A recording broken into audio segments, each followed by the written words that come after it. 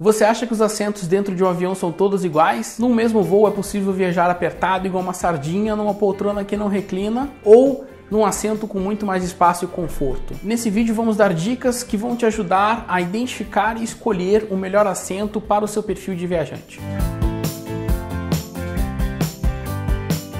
Seja bem-vindo ao Melhores Destinos, que é o maior site de promoção de passagens aéreas do Brasil. Eu sou Leonardo Cassol. Há mais de 15 anos eu viajo com grande frequência e já pude experimentar diversos tipos de assentos e companhias aéreas em milhares de voos pelo Brasil e pelo mundo. Vou tentar compartilhar com vocês a minha experiência e ajudá-los a escolher aqueles assentos que realmente fazem a diferença no conforto da sua viagem. A gente começa falando das opções mais básicas, que é a janela ou o corredor. Os assentos na janela são indicados para aqueles que gostam de dormir apreciar a paisagem durante o voo ou não querem ser incomodados pelos companheiros de fileira quando querem ir ao banheiro. Os assentos no corredor são preferidos por pessoas mais altas que precisam de mais espaço ou gostam de se movimentar durante a viagem. Além disso, fica mais fácil ir ao banheiro sem precisar incomodar ninguém. As nossas dicas começam com que tipo de assento você tem que evitar. O primeiro deles é o assento no meio. Eu não conheço ninguém que gosta de ir espremido entre duas pessoas no assento do meio. Começa pela posição incômoda para colocar os seus braços. A quem pertencem os braços da poltrona. Além disso, se as pessoas que estiverem ao seu lado forem muito grandes, você vai ter um desconforto durante todo o seu voo. O segundo assento a se evitar são aqueles que não reclinam.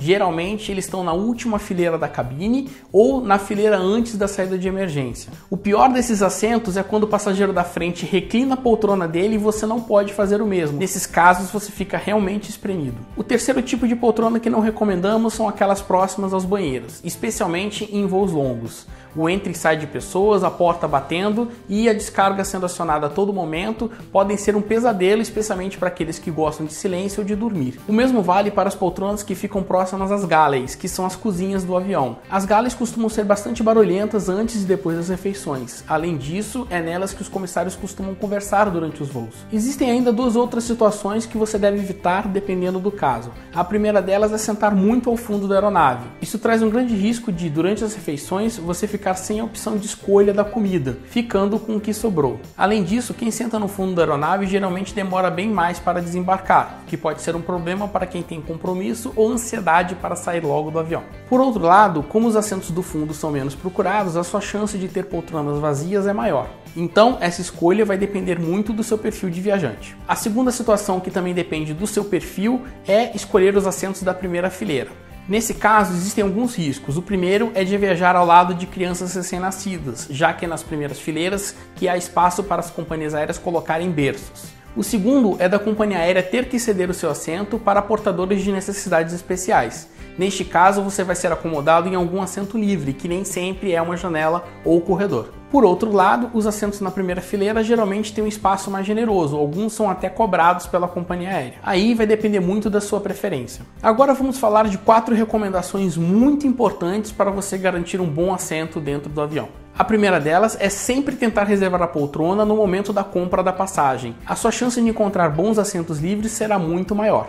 Algumas tarifas muito promocionais não permitem a reserva de assento no momento da compra. Neste caso, siga a nossa segunda recomendação, que é faça o check-in assim que ele abrir. A maioria das companhias aéreas libera o check-in online entre 24 horas e uma semana antes do voo. Os primeiros a fazer o check-in são aqueles que encontram a maior parte das boas poltronas livres. Nossa terceira recomendação é utilizar um site fantástico chamado SiteGuru. Na descrição do vídeo você pode encontrar o link para esse site. No SiteGuru, informando alguns dados dados do seu voo, você consegue ter acesso ao mapa da aeronave. Você vai conseguir visualizar o mapa completo das poltronas e ainda onde estão localizados os banheiros, as galleys e as saídas de emergência. Ainda no sítio Guru você vai encontrar informações sobre o entretenimento disponível na aeronave e ainda se ela dispõe de Wi-Fi e tomadas. O sítio Guru é bem didático. No mapa você encontra assentos marcados na cor vermelha, que são aqueles que devem ser evitados a todo custo, na cor amarela, que ocasionalmente podem trazer problemas, e na cor verde verde, que são os melhores assentos do avião. Os assentos que não são marcados com nenhuma cor são aqueles que não apresentam nenhum problema, mas que também não oferecem nenhum diferencial.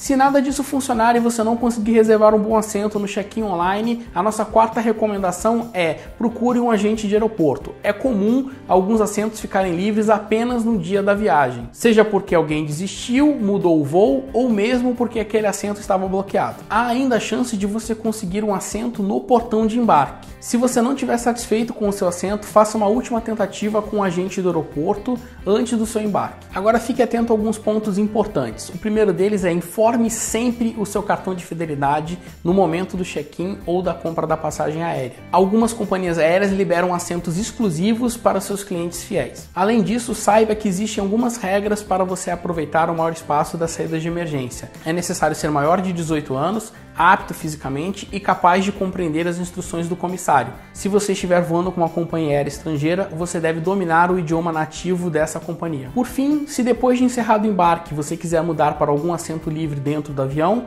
consulte sempre antes o comissário. Alguns assentos são reservados para a tripulação, são pagos ou podem estar bloqueados por motivos de balanceamento da aeronave. Evite o constrangimento do comissário te obrigar a voltar para o seu assento original. Para quem gosta de um ambiente mais tranquilo ou se incomoda com o ruído do avião, a recomendação é sentar na parte da frente da aeronave geralmente até a fileira 8 em voos domésticos e até a fileira 21 em voos internacionais. Sentando à frente da asa e dos motores, certamente você vai ter mais silêncio durante a viagem. Para quem estiver viajando de classe executiva, recomendamos mais do que nunca consultar o City Guru. Numa mesma companhia e uma mesma aeronave, as cabines podem ser diferentes, entre uma poltrona cama e apenas uma poltrona que reclina pouco. O City Guru pode ser muito útil antes mesmo de você fazer a sua compra. Assim você já escolhe o seu voo pensando no conforto que terá a bordo. Se você estiver viajando em casal, numa fileira com três poltronas, a minha recomendação é reserve a janela e o corredor, deixando o meio livre. A chance de não aparecer mais nenhum passageiro é muito grande. E, se aparecer, você pode ceder o assento da janela do corredor, deixando esse passageiro feliz da vida, já que ele vai ganhar um assento melhor do que ele tinha antes. O meu assento preferido, por exemplo, é na janela do avião. Primeiro porque eu adoro admirar a paisagem e segundo porque eu gosto muito de dormir especialmente quando a posição da minha poltrona é naquele meio entre uma janela e outra, onde eu consigo encostar minha cabeça sem precisar ficar com o pescoço tão torto. E você, qual o seu assento preferido? Tem algum lugar dentro do avião que você não abre mão ou que você evita a qualquer custo? Conte pra gente nos comentários. Gostou dessas dicas? Então não esqueça de dar o seu like e nos incentivar a trazer mais e mais conteúdo para você. Eu fico por aqui, até a próxima!